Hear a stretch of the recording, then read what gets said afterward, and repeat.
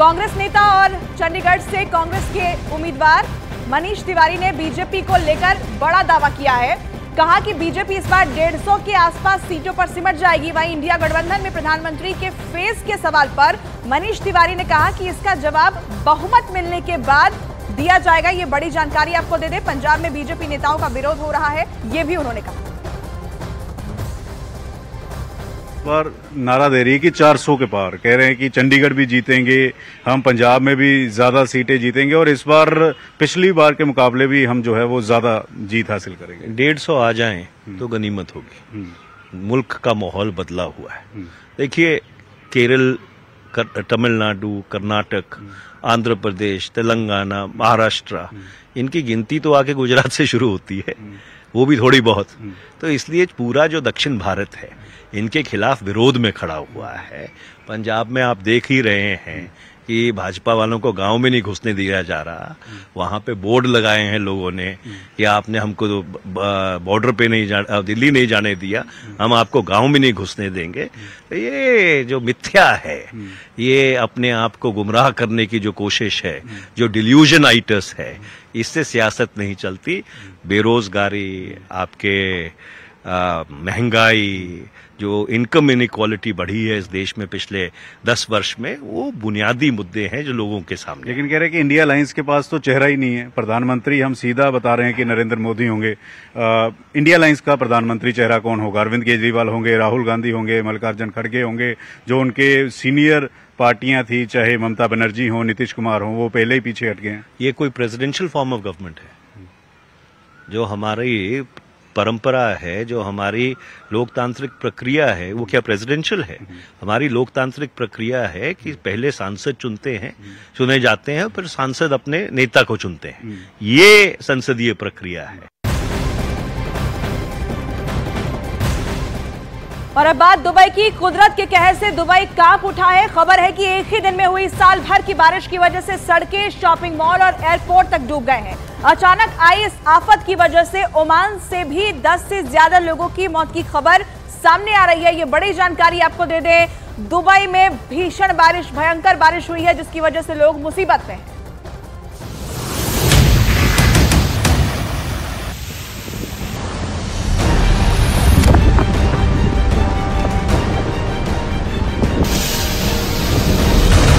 Dubai में record तोड़ बारिश।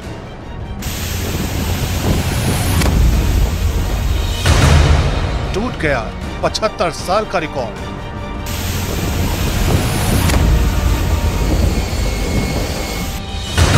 एक ही दिन में साल भर की बारिश।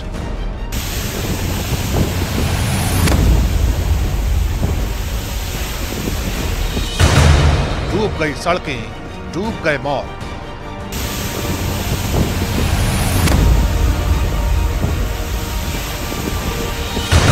रेगिस्तानी शहर में बारिश बनी का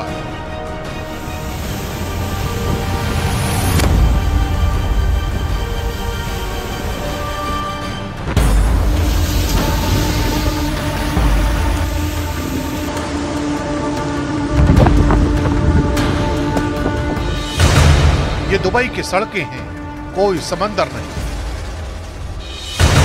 ये दुबई के मॉल हैं, कोई दरिया नहीं। ये दुबई के चमचमाते एयरपोर्ट हैं, कोई झील नहीं। लेकिन कुदरत ने ऐसा कहर बरपाया कि कहीं समंदर बन गया, कहीं दरिया तो कहीं बारिश से बनी झील में बड़े बड़े हवाई जहाज़ डूब गए।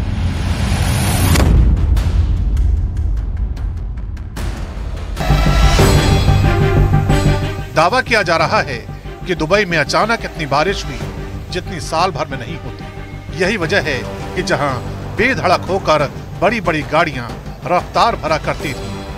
वहाँ सैलाब अपना शक्ति प्रदर्शन कर रहा है। आंकड़े बताते हैं कि दुबई में 88.9 मिलीमीटर बारिश रिकॉर्ड की जाती है। लेकिन इस बार एक ही दिन, यानी 24 घंटे में कुल 160 मिलीमीटर बारिश दर्ज की गई है। बताया जा रहा है कि इस बारिश ने दुबई में पिछले 75 साल का रिकॉर्ड ध्वस्त कर दिया है। यूएई, यानी संयुक्त अरब अमीरात के राष्ट्रीय मौसम विज्ञान केंद्र ने मंगलवार की सुबह दुबई, अबू धाबी और शारजा समेत कई हिस्सों के लिए चेतावनी जारी की थी। दुबई प्रशासन ने अचानक आई बाढ़ की वजह से शहर की कुछ सड़कों से बचने के लिए सलाह भी जारी की थी। इस बीच खबर यह भी है कि पड़ोसी देश ओमान में भी। भारी बारिश की वजह से अचानक आई बाढ़, कई लोगों की मौत की वजह बन गई। उधर दुबई में बारिश की वजह से खराब हुए हालात के पीछे लोग क्लाउड सीडिंग कराए जाने का आरोप लगा रहे हैं। जबकि एनसीएम, यानी नेशनल सेंटर ऑफ़ मेट्रोलॉजी की तरफ़ से भी क्लाउड सीडिंग की खबर को पुख्ता किया गया है। दरअसल भीषण गर्मी से निपटने के लिए और तापमान को गिराने के लिए दुबई में कृत्रिम वर्षा कराई जाती है। इस दौरान दुबई प्रशासन की तरफ़ से लोगों को वार्निंग भी जारी की जाती है। लेकिन इस बार जो दुबई में हुआ, वो तमाम कयासों से इतर हुआ। और इस कदर मूसलाधार बारिश हुई कि ना एयरपोर्ट बचे, न शॉपिंग मॉल, न सड़कें और न ही लोगों के आशियाने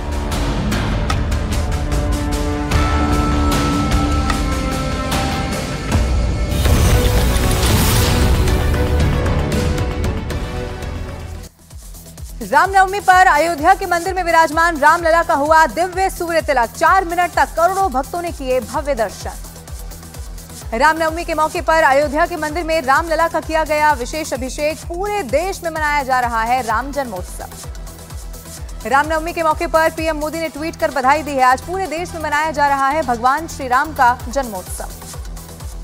रामनवमी पर भगवान रामलला के सूर्य तिलक की मुख्यमंत्री योगी आदित्यनाथ ने बधाई दी है। बोले श्री राम के जन्मोत्सव पर हर तरफ़ उत्साह का माहौल. सीएम योगी आदित्यनाथ ने रामनवमी के मौके पर गोरखनाथ मंदिर में किया हवन और कन्या पूजन। कन्याओं को कराया गया भोज। जम्मू कश्मीर में भी धूमधाम के साथ मनाया गया भगवान राम का जन्मोत्सव। लाल चौक से राम भक्तों ने निकाली भगवान की शोभा यात्रा चित्रकूट में भी रामनवमी के उत्सव की भव्य तैयारी। मठ मंदिरों में राम जन्मोत्सव के मौके पर की गई भव्य सजावट। भगवान राम ने चित्रकूट में काटा था वनवास। असम के नलबाड़ी में चुनाव प्रचार के दौरान पीएम मोदी ने रामनवमी का ज़िक्र किया। बोले 500 साल के बाद अयोध्या में मनाई जा रही दिव्य रामनवमी। असम में पीएम मोदी ने कहा, हर जरूरतमंद तक सरकारी योजना का लाभ पहुंचाना ही एनडीए का है मकसद। पाँच साल में गरीबों के लिए बनेंगे तीन करोड़ नए घर। गुजरात के अहमदाबाद में गृह मंत्री अमित शाह ने आतंकवाद और नक्सलवाद पर बोला ज़बरदस्त हमला। कहा, छत्तीसगढ़ में बीजेपी सरकार बनी तो नक्सलवाद के खिलाफ अभियान हुआ थे राजस्थान के मंत्री राज्यवर्धन सिंह राठौड़ ने कांग्रेस पर साधा निशाना कहा, एक